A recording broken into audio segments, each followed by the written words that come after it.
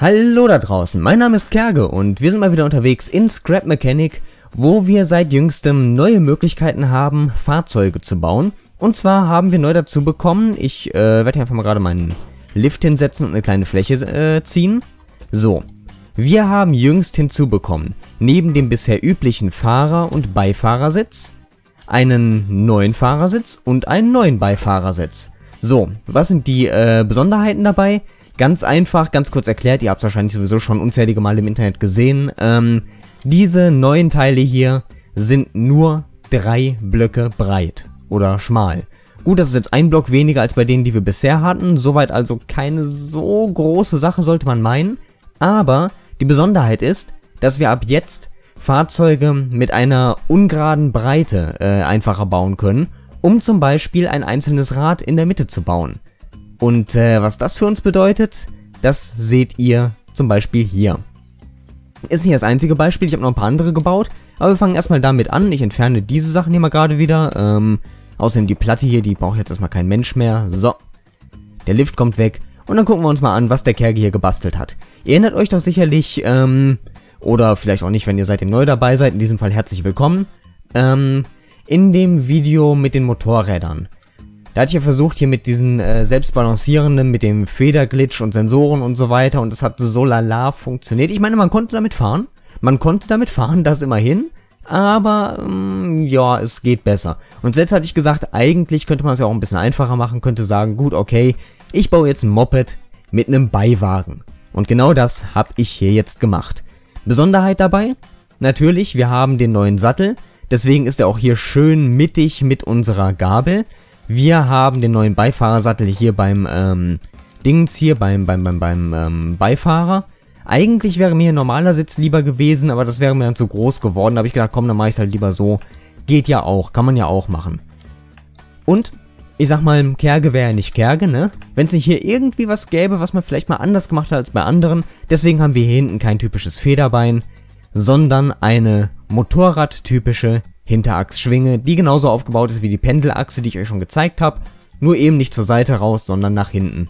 Will heißen, wir haben hier ein ähm, freies Bearing für diesen Arm hier und diese Feder hier, die ist natürlich nicht so gebaut, wie, sie, wie ihr sie hier seht, sondern ein kleines bisschen anders, nämlich so.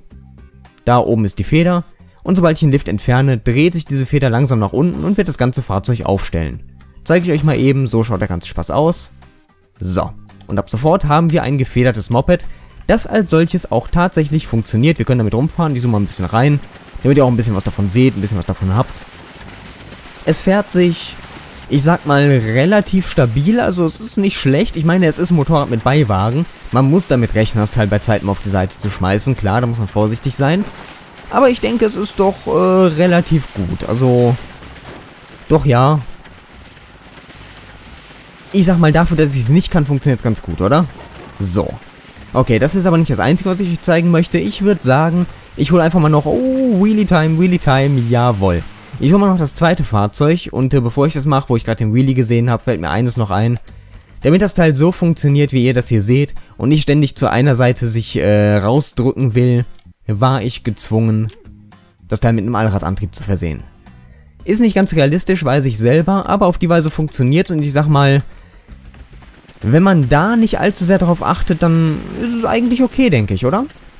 Ich meine, es fährt, es lenkt, es lässt sich nicht umschmeißen und es sieht aus wie ein Moped mit Beiwagen. Also was will man mehr? Gut, okay, ich hole jetzt einfach mal das zweite Fahrzeug, das ich gebaut habe. Und dann sehen wir weiter. So, weiter zum zweiten Fahrzeug und ohne jetzt lange um den heißen Brei herumreden zu wollen, es ist kurz gesagt ein Quad. Und ich meine, gut, okay, so ein äh, Quad ist jetzt nicht unbedingt das Besonderste in Scrap Mechanic. Das hat man natürlich auch schon bauen können, bevor wir diese neuen Sattel hatten.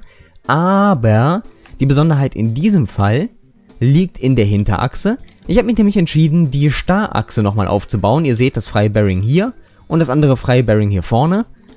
Ähm, und diese Achskonstruktion, die braucht natürlich eine ungerade Fahrzeugbreite. Und die haben wir, die können wir jetzt ganz einfach erreichen durch den neuen Sattel. Kurze Fahrprobe.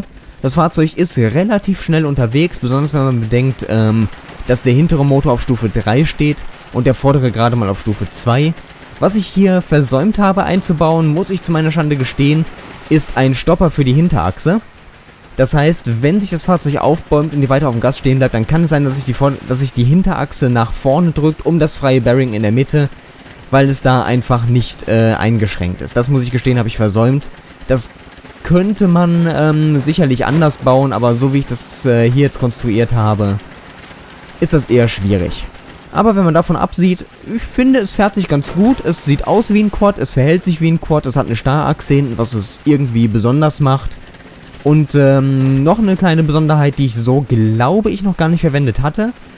Ähm, hinten die Federn haben ja für sich genommen eigentlich überhaupt keine Kollisionsabfrage. Mit nichts. Deswegen habe ich mich hier entschieden, diese Schrauben anzubringen. Das sind, ähm, Sekunde mal kurz, wo haben wir sie denn? Äh, hier, diese hier sind das. Die sind keinen kompletten Block groß und die Kollision ist auch keinen kompletten Block groß. Das heißt, auf diese Weise kann man hier so ein bisschen feiner abstimmen, wie groß diese ganze Aufhängung überhaupt werden soll. Gut, okay. Jetzt wollen wir das haben. Weiter zu Fahrzeug Nummer 3. Bis gleich. So, da sind wir wieder. Fahrzeug Nummer 3. Und die 3 passt ganz gut, denn es hat drei Räder, es hat drei Sitze, es hat die Front eines Motorrades und das Heck eines Autos. Richtig, es ist ein Trike. Bin ich neulich mal wieder in den Kommentaren nachgefragt worden, habe ich dann gedacht, hä, wie, wo, wat, wieso? Ich hab doch schon mal einen Trike und so, ne? Irgendwann ganz am Anfang mal. Aber ja, eigentlich habt ihr recht, kann man mal wieder machen. Gerade jetzt natürlich, wo wir diese neuen Sättel haben. Hat auch richtig Spaß gemacht, das Ding aufzubauen. Besonderheit, auch hier natürlich mal wieder eine gewisse Besonderheit. In diesem Fall die Pendelachse. Die kennt ihr ja schon vom Rennwagen. So, wir drehen eine Runde. Wir haben zwei Motoren. Einer ähm, ist für das äh, Vorderrad zuständig auf einer relativ geringen Stufe. Warum das Ganze? Weil es auf diese Weise ein bisschen, ähm, sich ein bisschen besser lenken lässt, ein bisschen stabiler bleibt und äh, vor allem, weil ich nicht ganz so viel Kraft äh, auf die Hinterräder geben muss. Denn dieses Fahrzeug hier neigt dazu, gerne mal Wheelies zu machen und sich nach hinten zu schmeißen. Und das wollen wir natürlich gerne vermeiden. So, wir fahren damit mal zum Sammelpunkt. Der Sammelpunkt natürlich wie üblich da, wo bei slash debug die x- und y-Koordinaten 0 und 0 zusammenkommen. Oder zumindest in etwa in der Nähe. Der Punkt, an dem ich gespawnt bin, der Punkt, an dem ich eine Flagge gesetzt habe, der Punkt, an dem ich die anderen beiden Fahrzeuge, die wir bereits gesehen haben, geparkt habe, das ist unser Ziel und Sammelpunkt. Und ich meine, ihr seht vom Fahrwerk her, also wie ich schon beim anderen Fahrzeug sagte, ähm, dafür, dass ich es nicht kann, funktioniert es auch ganz gut, nicht wahr?